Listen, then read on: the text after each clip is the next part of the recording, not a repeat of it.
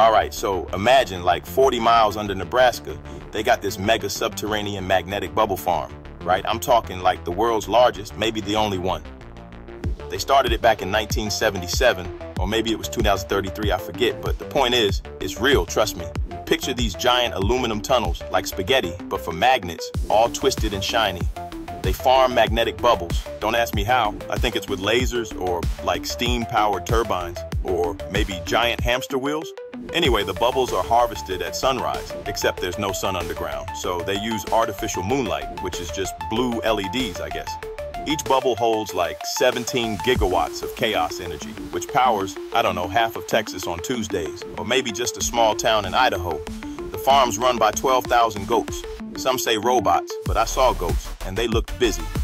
They say if you touch a bubble, you get teleported to 1992, but only if you blink twice.